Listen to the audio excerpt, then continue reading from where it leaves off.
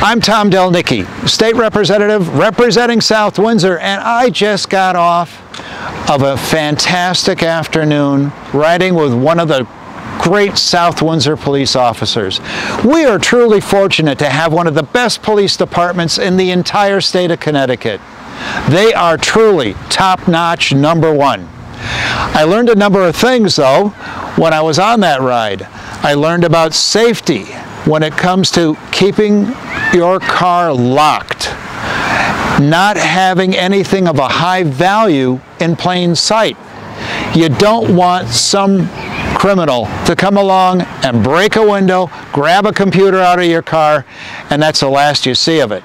Likewise, keep your garage doors closed, even during the day. You don't want somebody going into your garage, grabbing something, and stealing it.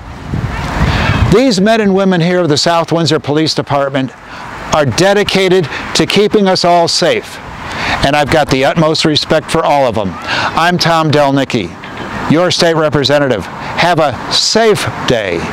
Take care.